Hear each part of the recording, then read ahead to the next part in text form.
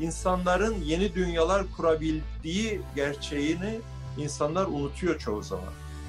Düşünce sevmezlik çok ciddi bir problem. Herhangi bir şeyi e, alıp bir yerden bir yere taşımakta çok küçük çekiyorsun o yüzden. Çünkü sıkılıyoruz. Zaten çağımızda da odaklama problemi var. Şimdi bu gençler ne olacak, ne yapacaklar? Devlet memuru olamazlar.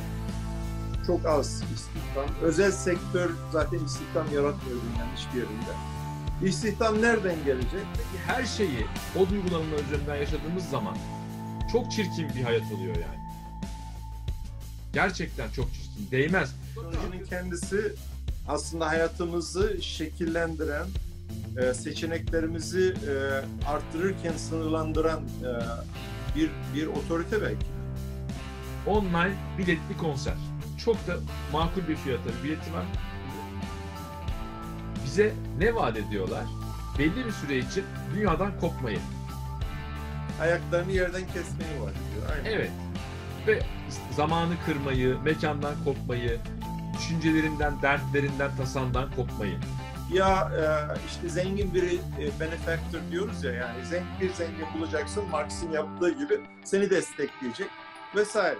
E şimdi bu, bu ikisinin olmadığı yerde kendi kaynağını kendi yaratan yeni bir sınıf ortaya çıkıyor. Yaratıcı sınıf. Haruncum merhaba. Nasılsın? İyiyim hocam. Sen nasılsın? Ben de iyiyim. Ee, uzunca bir süredir aslında e, seninle sohbet etmek istiyordum. Ee, yani kamera karşısında kayıt halindeyken. Nasip bugüneymiş. Ee, istersen ben şöyle başlayayım. Senin çünkü çok sevdiğim bir şarkım var. Bir derdim var diye. Nedir abi derdin senin? Ya e, şarkı tabii başka ama benim genel olarak derdim sentez. Yani şarkılar e, şarkı dediğin zaman akan sular duruyor benim için. Ben şimdi şarkı yazarlığı üzerine düşünen, işte dersini de vermiş, e, atölyeler yapan falan birisi olarak hep şey anlatırım. Yani persona oradaki başka biridir, e, otobiyografik bir şey değildir, kurgudur diye. Ama şarkının aynı zamanda şeyi vardır hakikaten. E, bir e, söyleyenle e, bütünleşen bir hali de vardır. O yüzden sorunu çok uzatmadan e, şöyle cevaplayacağım. E, benim bir takım dertlerim var. Bir değil yani. Bir, bir, bir sürü derdim var. Dert de aslında problem e, değil de problematik olarak e, dertler. Yani konu. Sen tabii şimdi felsefeci olduğun için bütün sorularımı böyle komplike edeceksin. Tabii mutlaka. Ve eğer e, işime gelmezse zoom out yapacağım. İşime gelirse zoom in yapacağım. e, otofokus yapacağım çoğunlukla. Hocam e, benim genel olarak derdim, hmm, dertlerim, senin de dertlerin aslında pek çok insanın derdi. Yani e, çeşitli alanlarda var olan bilgileri, görgüleri, deneyimleri mümkün mertebe güzel, iyi, faydalı şekilde birleştirip Harun ben oradan... seni dinlerken şöyle bir hisse kapılıyorum. Şimdi Tamam. sen sende e, böyle en doğru şekilde ifade etmek. Yani bir e, bence Alman ekolünden geldiğin için olabilir, felsefeci Olabilir. olduğun için olabilir. Yani mümkün olduğu kadar karşı tarafta yanlış anlamaya mahal vermemek için en doğru şeyi arıyorsun. Evet, Ee, onun da bazen maliyeti oluyor tabii. O kadar uzun oluyor ki insanlar Aynen. sıkılabiliyorlar. Sıkıldın Aynen. mı hocam ikinci dakikadan? Sıkıl, sıkıldım evet. Bir derdim var dinlerken sıkılmadım. O türküyü de türkü diyorum. Şarkıyı şunun için seçtim. Şimdi senin kaç? 100-200 tane şarkın var değil mi? Toplam kaç oldu? Mor ve Ötesi'nin evet ortak yani 90'ın üzerinde 100'ün üzerinde şarkısı Güzel. vardır. Ama onların içerisinde hani birini seçsem bana göre Harun ya. Benim sevdiğim, bildiğim Harun. Bence o şarkının mesajıyla örtüştüğü için onu seçtim. O şarkı seni tarif ettiği için değil. Bir Tamam, derdim süper. var. Onu görüyorum yani. Yaptığın her şeyde görüyorum. Yani ben her anlattığım şeyi aynı hedefle ve aynı amaçla anlatmıyorum. Her zaman da bir şey anlatmıyorum ayrıca. Yani benim için bir şarkı bir şey anlatmanın yolu değil. Şarkı başka bir şey. Bir televizyon programı başka bir şey. Çok değer verdiğim ve çok e, feyz aldığım bir akademisyenle bir YouTube programı başka bir şey. Bir podcast başka bir şey ve bunların hepsinin ayrı dilleri var, ayrı kapsamları var. Bence e, beyhude bizim basitleştirmemiz kolay değil. Sentez meselesi gerçekten önemli. Hayatın çeşitli alanlara çeşitli bilgiler var. Kimisi benim için mesela bilim ve sanat ikisi de çok önemli. Felsefe de çok önemli. E, bunların üçü de e, bence birbirlerine çok uzak şeyler değil. Üçü de hayata da çok uzak şeyler değil. Bunların ve üçü de e, belli oranda soyut düşünce içeriyor. Bence tıkandığımız yer burası. Bence Türkçe'de, Türkiye'de belki de altına e, çizmemiz gereken şey biraz soyut düşüncenin değeri. Çünkü bunlar yani felsefe yapma diye şarkı var abi Türkçe'de. E, olur mu Akademik yani? takılıyorsun diyorlar ya.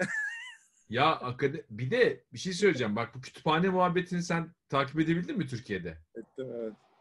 Arka plana kütüphane koyan insanlara gösteriş yapıyor dendi. Ve Bunun insanlar koymaktan vazgeçti. Bir- Vazda geçtiler evet. Ben yine ben zaten yani ben koymuyordum bu muhabbetin üzerine koymaya başladım. Öyle söyleyeyim. Çünkü Murat Önderman hoca var. Atıfta bulunmaktan hoş, hoşlanıyorum çok. O e, bunu çok güzel ifade etti. Dedi ki insanlar bunu yadırgıyorlar çünkü arkalarında o kadar kitap olmasını ancak gösteriş yapıyorlar diye anlayabiliyorlar dedi. Yani ancak olsa olsa ben kitap okuyorum diye arkalarında kitap dizmişlerdir zannediyor insanlar. İnsanların evlerinde o kadar kitap alacağını düşünüp de ona kızmıyorlar diyor yani. Ben de şimdi buradan geleceğim. Ya bizim e, düşünceye bir düşmanlığımız var. Vallahi yani düş- düşünce sevmezlik var yani. Düşünce sevmezlik çok ciddi bir problem. Herhangi bir şeyi e, alıp bir yerden bir yere taşımakta çok güçlük çekiyorsun o yüzden. Çünkü sıkılıyoruz. Zaten çağımızda da odaklama problemi var. Sıkıldık gitti.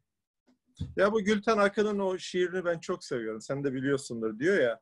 Durup ince şeyleri düşünmeye, ah kimsenin vakti yok dur, durup ince şeyleri düşünmeye.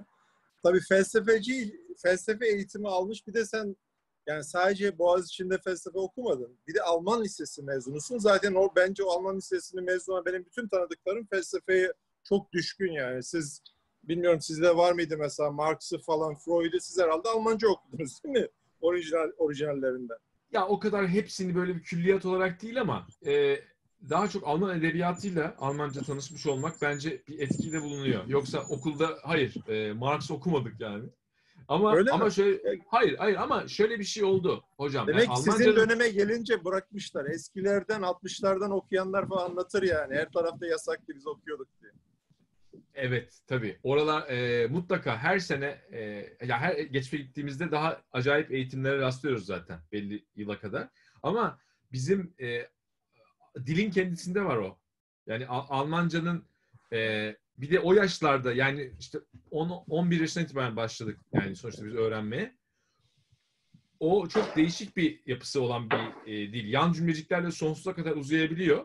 O aslında Türkçe'de e, hani senin sıkılmanı e, ge- az önce dedik ya o komik Virgül koy devam et ya virgül koy devam et. Yani Thomas Mann'ın öyle bir buçuk sayfa cümleleri vardır yani. Ama edebiyle tınlar o, o, o dil içerisinde. Şimdi bir şeyi anlatmaya, izah etmeye ve onu precise bir şekilde yani gerçekten hiçbir şeyi dışarıda bırakmadan ama e, lüzumsuz da bir şey anlatmadan anlatmaya çalışıyorum. Gördüğün şey o aslında. E, çünkü galiba çok kirli. Yani hiç kimse gerçekten anlatmak istediği şeyi anlatmıyor gibi geliyor bana. Şimdi içeri geldik Harun'la. Çünkü dışarıda çim makineleri başladı. Ee, zaten- o- konuşuyorduk. Kütüphanemiz var artık ikimizin de.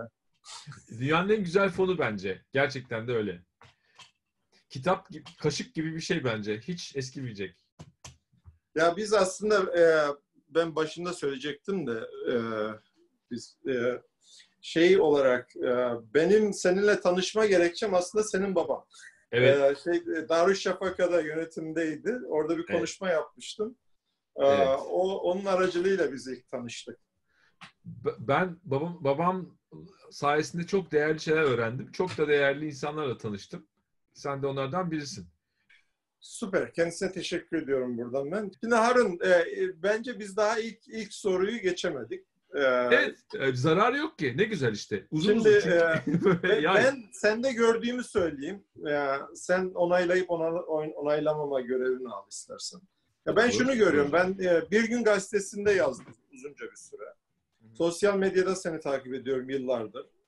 Ee, onun dışında asıl bugünkü zaten yani ikinci bölümde konuşacağımız girişimci bir tarafım var. O ünvanla da ilgili bir sıkıntı var. Onu konuşacağız. Tamam. Ee, ama gördüğüm şu, hayatı bulduğun gibi bırakmak istemiyorsun. Ee, hem kendin için hem başkaları için. Yani bir dönüştüren bir tarafın var. Yani evet felsefe okumuşsun ama böyle hani o Marx'ın 10. tezinde sözünü ettiği felsefecilere biraz da itirazla hayata karışmak, hayatı dönüştürmek iddiam var. Evet, Bu da bir yani dert. dü- Dünyayı anlamakla yetinmeyip değiştirmek istemek gibi. Ama bunun önemli bir kısmı anlamak tabii. Yani biz o kısmını yapmadan da çok fazla şey yapma eğilimimiz var. Ben bu sıralarda şöyle bir hobi geliştirdim.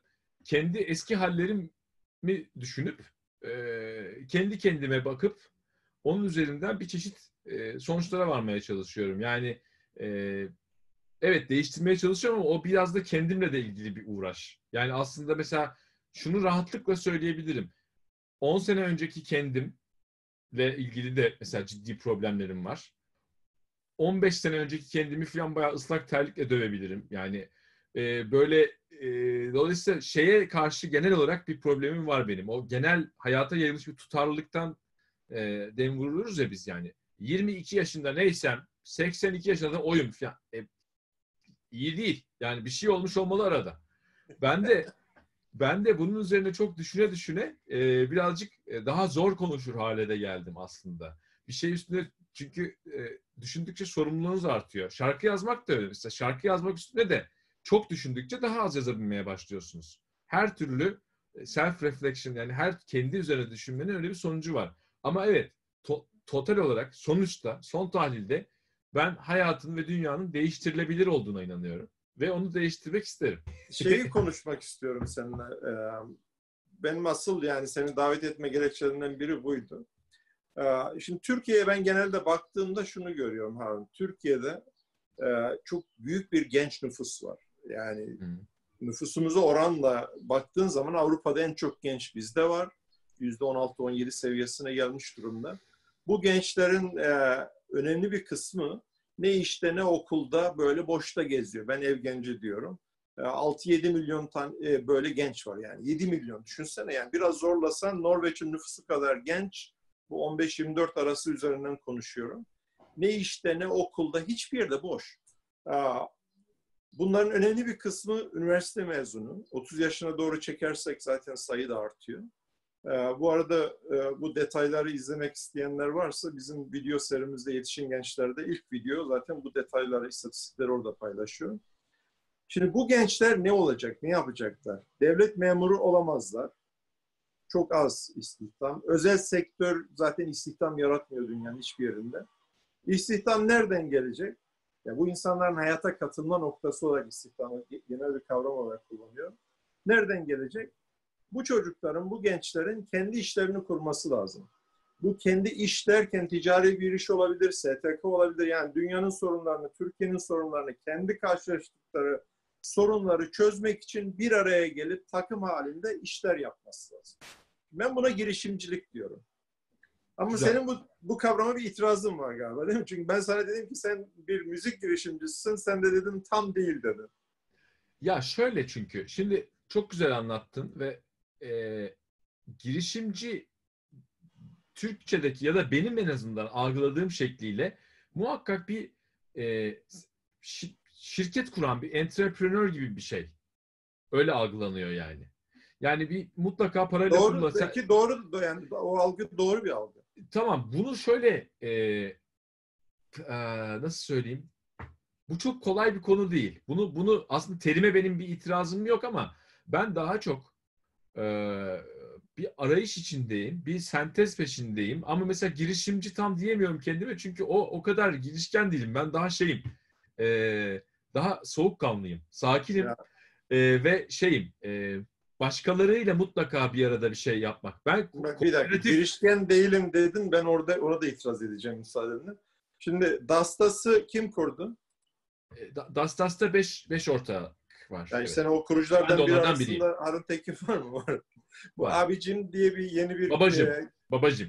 şey bab, abicim babacım. Ama Orada abicim sen, güzel. sen e, orada ne işin var senin rolün? Babacım stüdyolarında devralan e- ekibin bir parçasıyım. evet.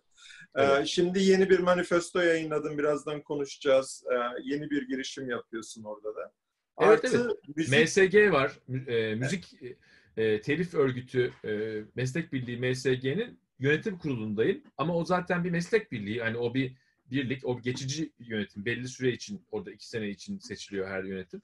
Şimdi ama kastettiğim şey şu. Ben de galiba sen güzel yakaladın orayı. Girişimci de benim e,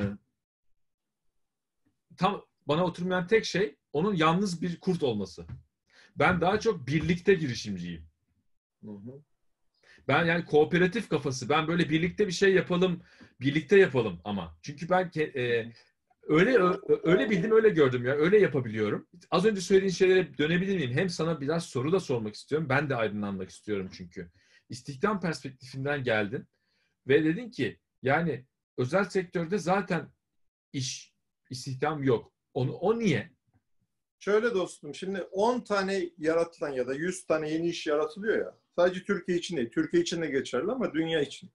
Bunun e, sadece yüzde onluk kısmı devlet ve büyük şirketler yani kurulmuş şirketler tarafından yapılıyor. Yüzde doksanı bizim Türkiye'de COSGAP dediğimiz dış e, yurt dışındaki literatürde biraz daha startup denilen bence hı Dastas'ın da işte e, e, babacımın da içine girdiği startuplar tarafından yapılıyor. Bunlar 3 yıl ya da daha az diye hani literatürde geçer.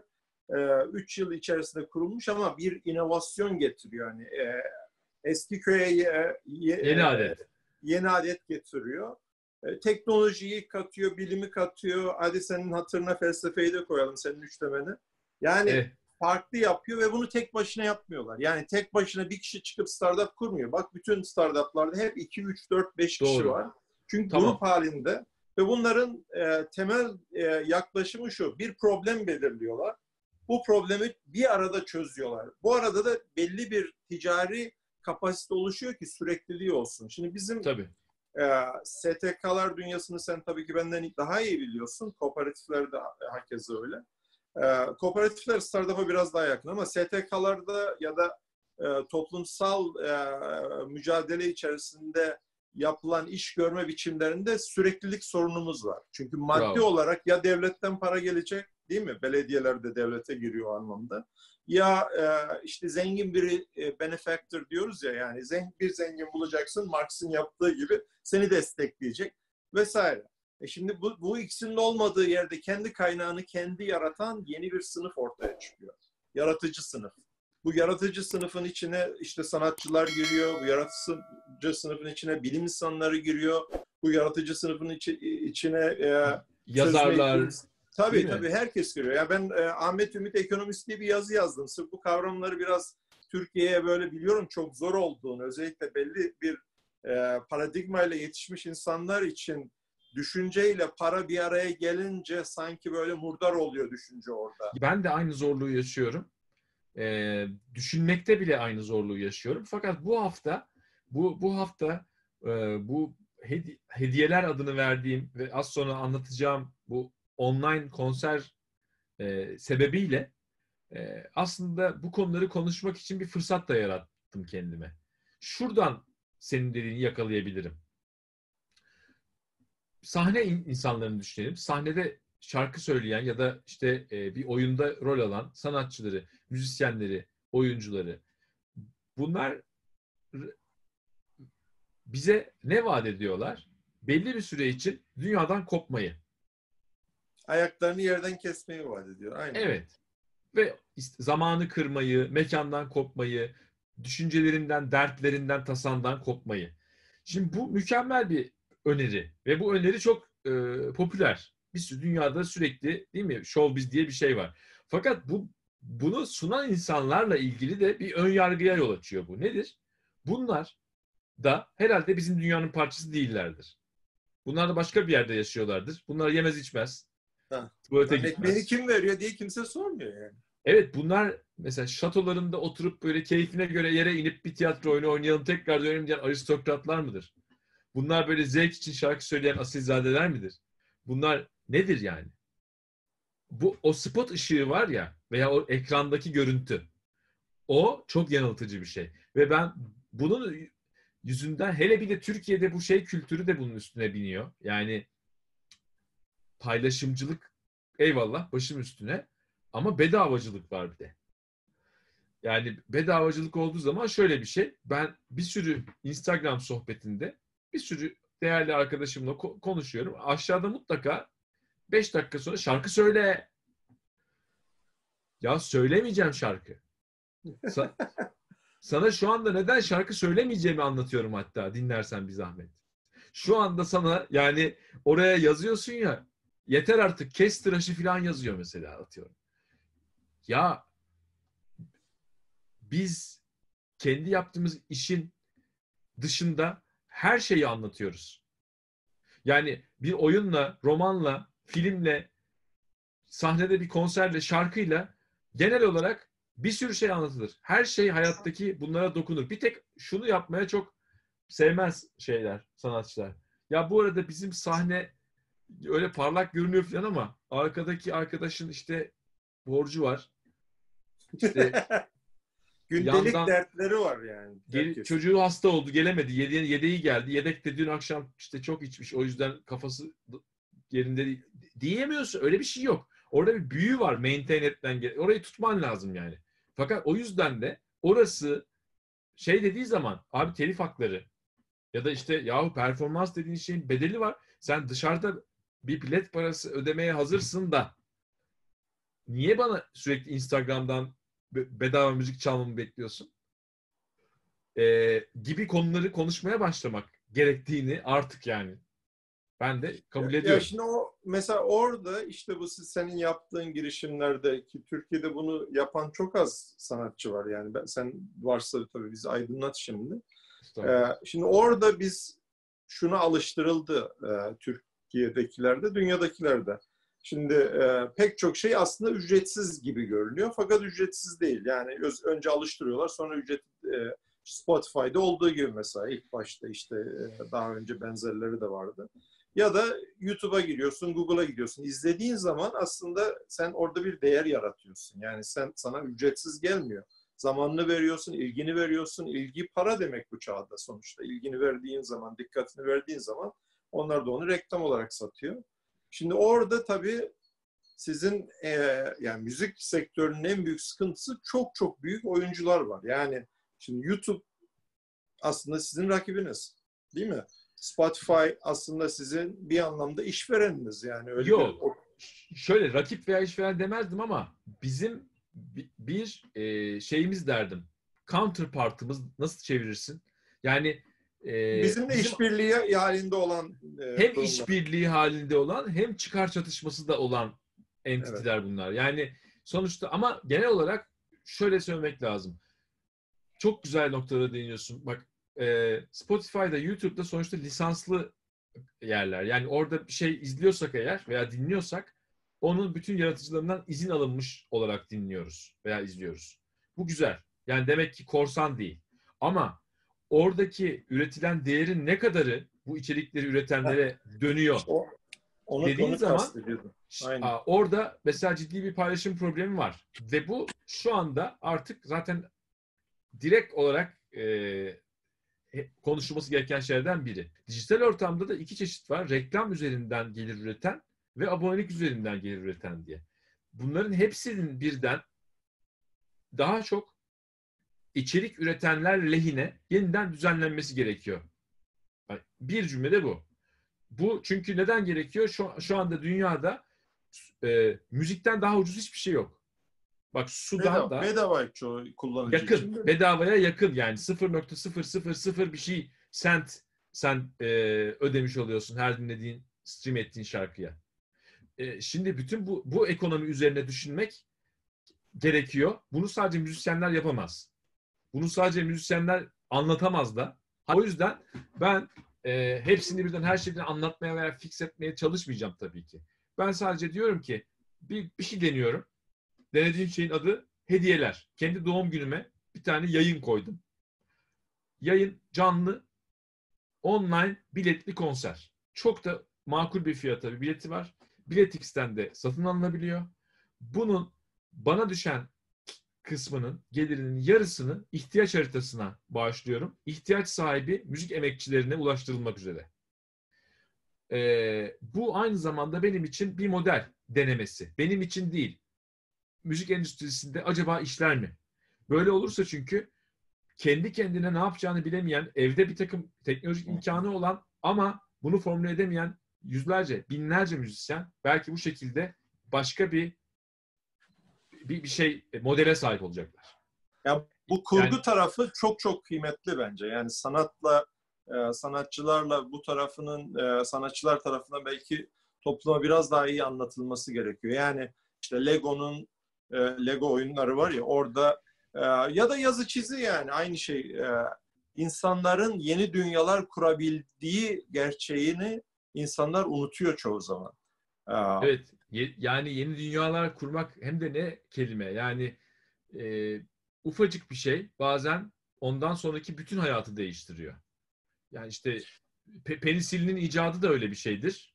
Beatles'ın ilk kaydettiği şarkı da öyle bir şeydir. Bu bunlar e, insanlığın hoş tarafları, güzel tarafları. Ama iş şeye geldiğinde, yönetmeye ve karar vermeye geldiğinde ve öngörülerde bulunmaya geldiğinde gerçekten çok kötüyüz. Ve bunu teslim edip bunu bir düzeltmemiz lazım. Yani hakikaten Ya. bu kadar bu kadar kötü tahminler, bu kadar tuhaf tuhaf kararlar. Ya bunlar e, uzaylı gelse utanırız bak. Haruncuğum ben çok sevdiğim kitapları ikişer ikişer alıyorum. Bunu okudum bilmiyorum. Thinking Var, Slow and var. Fast.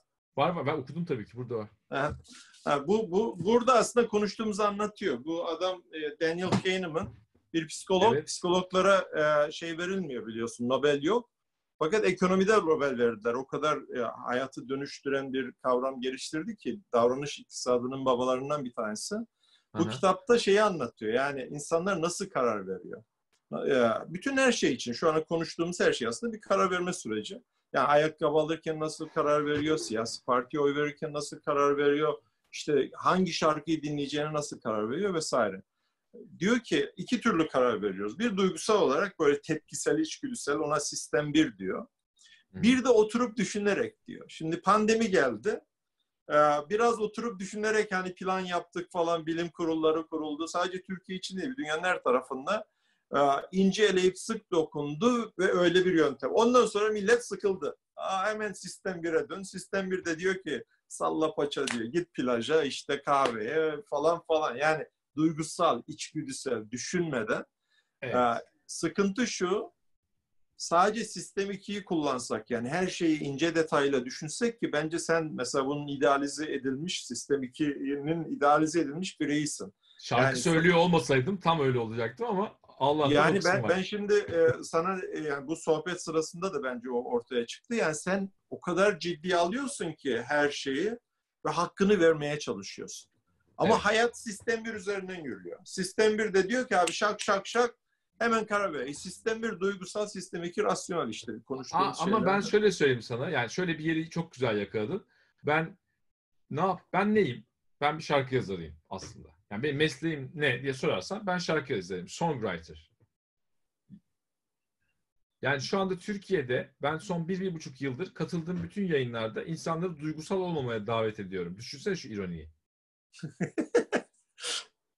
Şimdi yani çünkü ben duyguları dönüştürmekle ilgili bir şey yapıyorum. Benim hayatımdan mesela duyguları atmak diye bir şey söz konusu olabilir mi?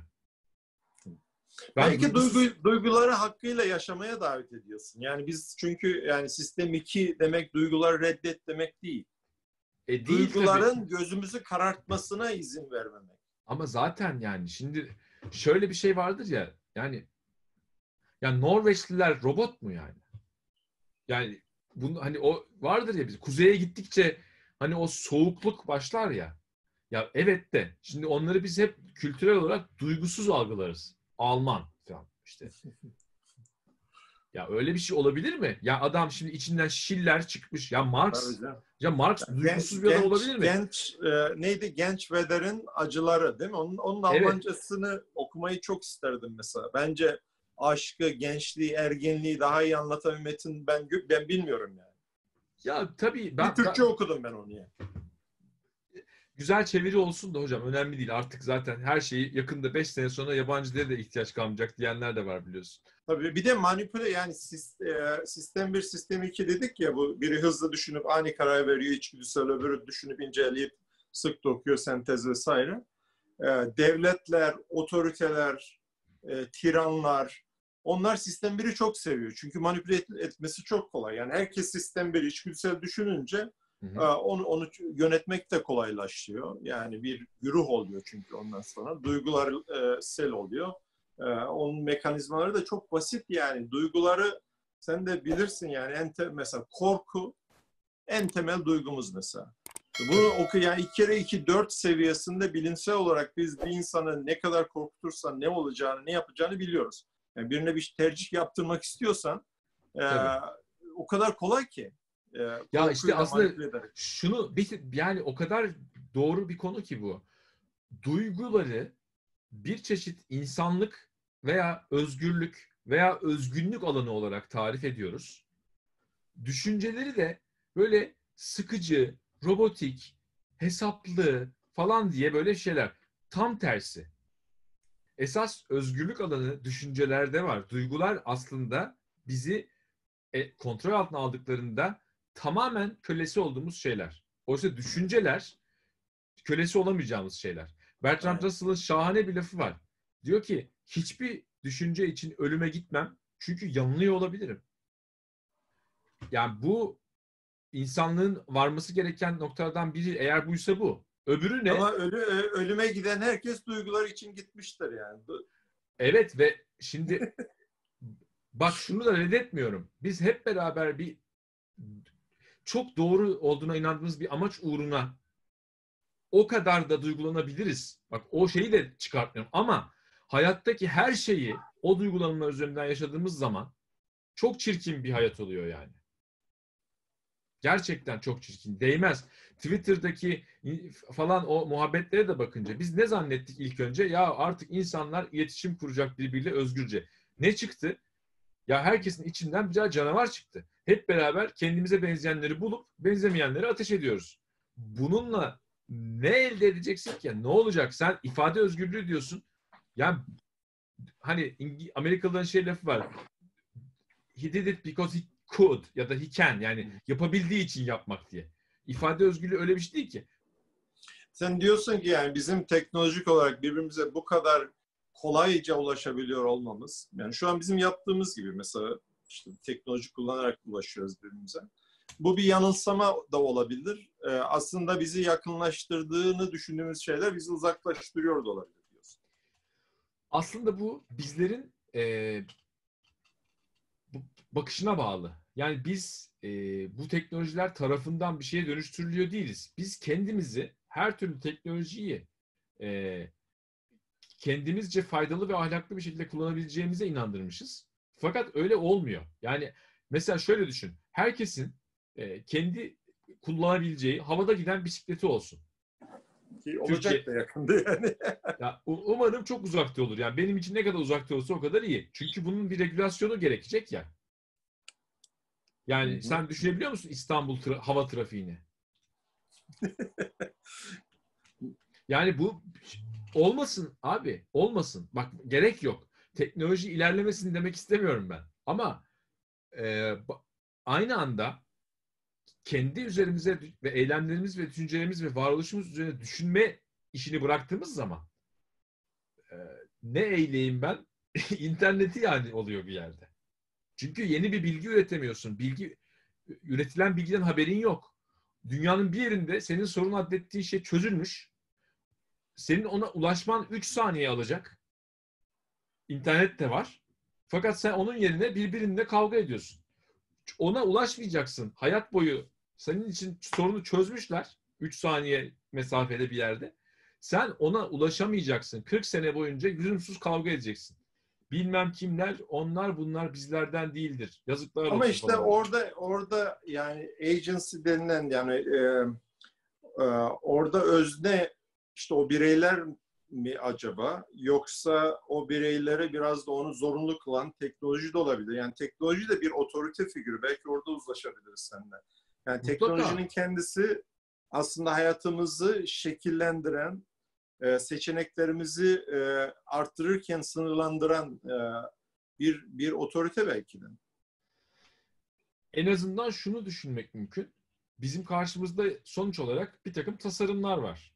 Yani birilerinin tasarladığı bir şeyler var diye yine düşünürsek eğer.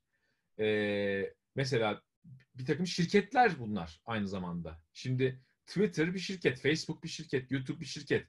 Ama bunlar dikkat etsene ben ilk zamanlarda çok şaşırıyordum. Yahu haber bültenlerinde normalde hiçbir markanın adı langır lungur geçmez değil mi? Yani ben bir sürü marka orada bir tane kendi adı geçsin diye 40 yasak takla da, atar. yasak da yani. Yasak. Türkiye'de rütük, rütük sınıf var Öyleydi, ya. öyleydi ama çok erken bir zamandan itibaren bütün haber kanalları her saat, her ekranda hiçbir şey olmasa Twitter account'u yazıyor Twitter logosuyla. Evet. E o ne o? Şirket. Sen nesin? Sen de şirketsin. E orada öbürleri kızmaz mı sana o zaman? Niye bu vardı ben yokum diye? Kızamıyor. Çünkü Twitter'ın şirket olduğunu unut. Anladım. Ee, bütün bu karışıklığa rağmen buradan ileriye gitmek için aslında bu teknolojiler bize fırsatlar vermiyor mu? Tabii Bu ki veriyor fırsat- canım. Tabii ki veriyor. Ben zaten yani şey mi anlaşıldım bilmiyorum. Teknolojiler kötüdür falan demiyorum. Ben insanla ilgili problemi başka bir yerden teknoloji üzerine anlatıyorum. Teknoloji olmasaydı da yani İkinci Dünya Savaşı'nda internet mi vardı yani? Pek mi iyiydik? Ben e, ben Türkiye'de özellikle müzik ama genelde sanat e, sektöründe inovasyonun inovasyona ihtiyaç olduğunu düşünüyorum. Eğlence sektöründe Çok doğru. Türkiye'de büyük bir potansiyel kültürümüzün zenginliği ham madde ise eğer e, bir çerçeve doğru. olarak söylüyorum. Kültürümüzün zenginliğini görüyorum. Fakat yeni teknolojilerle inovasyon yaparak bu zenginliği yeni kuşaklara hem Türkiye'de hem e, dünyada aktarma noktasında bizim girişimci sanatçılara ihtiyacımız olduğunu düşünüyorum. Ben seni de onlardan biri olarak görüyorum. Tamam. Bu noktada e, özellikle gençlere müzik alanında mesela iki tane girişim yapmışsın. Dastas'ı anlatabilirsin örneğin. Mesela Dastas nasıl ortaya çıktı? Hangi problemi gördünüz de ya bu problemi çözmek için biz Dastas'ı kuralım dediniz? Bilmeyenler için de çok kısa bir şekilde Dastas nedir? Tabii ki. Ee, bu arada tabii şunu da söyleyeyim. Dastas şu anda kapalı. Çünkü salgın dolayısıyla Tabii, tabii. e, öyle bir dönemden geçiyoruz. E, tabii ki belli sınırlar dahilinde e, tekrar hizmete girecek ama yani o e, biraz hikayesinin başını anlatayım ama e, çok da ekstraordiner bir durumda olduğumuzu unutmadan şey yapalım. Çünkü dünya çapında bir salgına kimse hazır değildi. Hikayesi şu. E, beş ortak var Dastas'ta. Dört tanesi sanatçı, bir tanesi iş insanı. Bu beş ortağın çeşitli hayallerinin, çeşitli emeklerinin, çeşitli fikir ve maddi sermayelerinin çeşitli boyutlarda bir araya gelmesinden oluşan bir e, yapı Dastas. İstanbul'un Anadolu yakasında Ataşehir'de e, 3600 metrekare üzerine kurulu bir kültür, sanat ve gastronomi e, hub, hub'ı yani hub diyebiliriz ona herhalde bir merkez e, içinde bir işte restoranı da olan konserler ve tiyatro oyunları yapılabilen çeşitli boylarda üç salonu olan e, hatta bir minik bir e, şey bir incubation center'ı da bile olan e, böyle bir yapı. Bunu diğerlerinden benzerlerinden Türkiye'de ayıran ne? Hı. E, programlamasını sanatçıların ya- yapıyor olması. Yani programlamasını tabii ki profesyoneller yapıyor ama sanat yönetimini sanatçıların yapıyor olması bir. İkincisi arkasında bir vakıf, dernek, STK, devlet, belediye olmaması. İşte bu da seni girişimci yapıyor kardeşim yani. Tamam Checklist canım. Tamam. Devlet Aa. yok. STK yok. Siz kendiniz bir problem gördünüz. Dediniz Evet. ki Türkiye'de sanatçıların kendi sanatsal ürünlerini sergilediği, toplum önüne huzuruna çıkarttığı ortamlar yaratıcılara bırakılmıyor. Siyaset karar veriyor. Yarın öbür gün belediye değişir. Geldin gelmedin, verdin vermedin. Biz bunu Tabii. kendimiz çözeceğiz demişsiniz siz. Evet, birkaç tane birden şeyi aslında çözmeyi hedef alan bir şeydi Dastas. Ee, bunlardan da birkaç tanesini başardı. Yani en azından ilk geçirdiği 3 yıl içerisinde çok hızlı bir şekilde markalaştı ve kendisini olmak istediği yere oturttu. Ee, ben Kars'tayım biliyorsun. Kars'ta da çok genç var. Kars'taki gençlerin de sanatsal ihtiyaçları var. Kars'ta da çok sanatçı var. Yani bizim Aşıklar Geleneği'nin çıktığı yer. Yani Dastas'ın ilk orijinal e, örneklerinden biri Kars'taki kahvelerdir. Orada aşıklar bir araya gelirdi eskiden. Aşıklar kahvesi vardır. Halen daha var ama işlevsel değil. Ee, çok ciddi bir potansiyel var. Turizm potansiyeli Kars'ta. Kars örneğinden Anadolu'daki her kasabayı aynı şeyi düşünebiliriz. Her şey, şehre. Şimdi gidiyor insanlar oraya. Akşam 8'de Kars'ta bir ya da iki tane 10 bin tane, 5 bin tane turistin geldiğini düşün. Bir ya da iki tane gidebileceğin yer var. Onlar da her gün oluyor, olmuyor. Bir sistem yok. Önceden telefon açıyorsun, aşıklar oraya geliyor falan. Tamamen derme çatma. Şimdi benim seninle konuşmakta ve konuyu bir yere sıkıştırmaktaki derdimi anlatmaya çalışıyorum sana. Şimdi ben Kars'taki o gençlere, Kars'taki o sanatçılara şunu anlatmak istiyorum. Bakın İstanbul'da da böyle bir sorun var. Ama İstanbul'da beş arkadaş bir araya gelmişler ve dastası kurmuşlar. Abi buna benzer bir şeyi sen de Kars'ta yap. Yozgat'ta yap. Mersin'de yap. Anlatabiliyor muyum? Zor ama evet.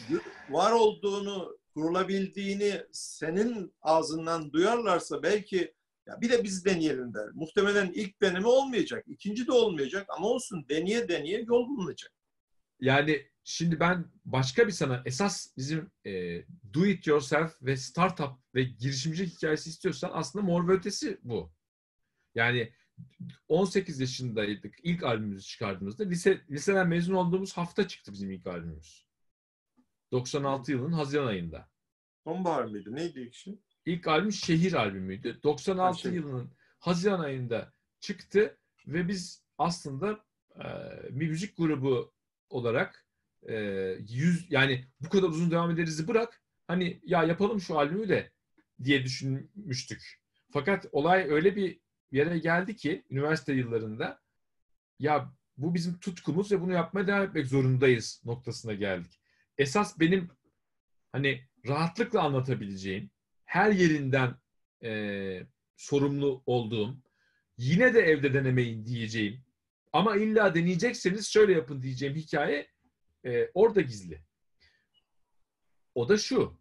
E, bence gerçekten sen bana diyorsun böyle böyle diye ama yani o sistem iki o kadar önemli ki. Yani o, o bir şeyleri böyle hemen yapmamak. Yani bekleyebilmek, sabredebilmek, bir şeyin olgunlaşmasını beklemek. Bunlar sadece karakter özelliği falan değil. Bunlar tercihler ve bunlar sonuçları olan tercihler. Ve bunlar çok sinir olunan tercihler.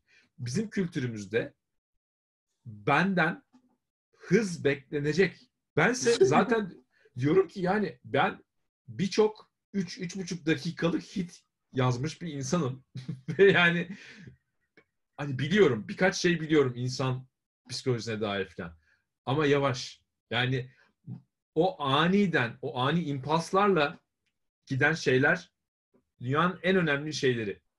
Bir de şey de var tabii yani o Cefer işte hani e, kim söylemişti bilmiyorum da e, böyle bir ilham bir nehir akıyor onun yanında geçerken hani bir kepçe de ben alayım diye bir şey yok. Öyle olsaydı Bob Dylan'ın kenarında durduğu nehrin altı e, kenarına ben de giderdim diyorlar. Öyle çok bir güzel söylemiştim. Çok güzel Şimdi, söylemişler. Sıkıntı ne biliyor musun Harun Türkiye'de? Gençlere herkes gidiyor. Çoğunluk itibariyle en azından. Ya buradan bir şey olmaz arkadaş. Ha. Ya terk et ya da işte o siyasi... Ee, bunu aklımdan geçirdiğim zamanlar da oldu. Hiç kimseye de tavsiyede bulunmam. Abi burada kalın. Gidin. Şey güzelmiş. Almanya'nın da bilmem nesi güzel. Yeni Zelanda çok bilmem ben. Ben kendimle ilgili şeyi söylüyorum.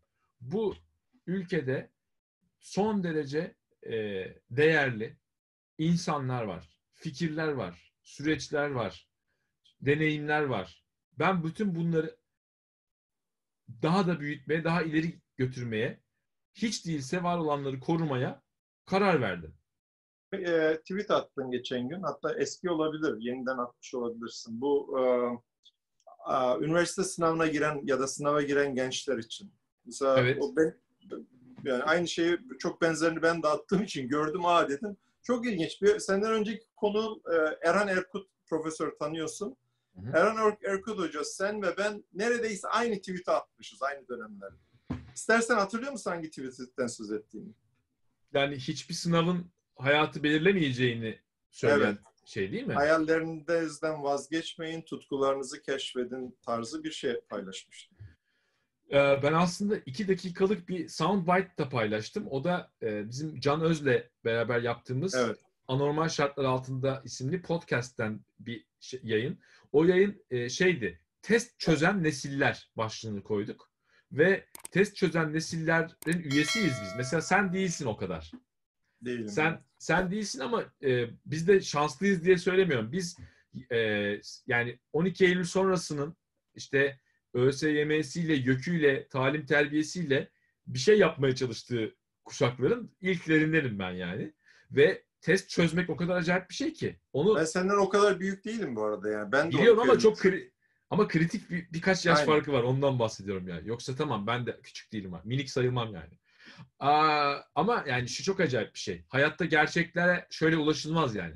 Sana bir soru soruyorlar. 5 tane şık var. O 5 şıktan doğru şıkkı 30 saniyede bir seçerek varabileceğiniz bir yer yok. Ama biz şimdi ne yapıyoruz? On binlerce test sorusu çö- çözüyoruz.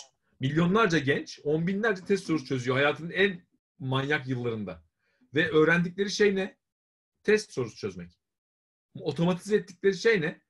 Hızla onlara verilen beş cevaptan birini işaretlemek. Bunun bizim bilgiyle aramızda kurduğu hastalıklı ilişkiye bakar mısın? Ben şimdi kendi cevabımı üretemeyecek miyim? O kadar mı zamanım var illa? Ben 30 saniyede mi doğru cevabı bulmak zorundayım? O zaman ne oluyor? Sen bana bir şey söylüyorsun. Ben sana hemen diyor ki hocam doğru ya da yanlış olmaz öyle şey falan. Yavaş ya yavaş ya. Bence o zaman o bu şekilde bitirelim. Yavaş. Yavaş, Yavaş. ya.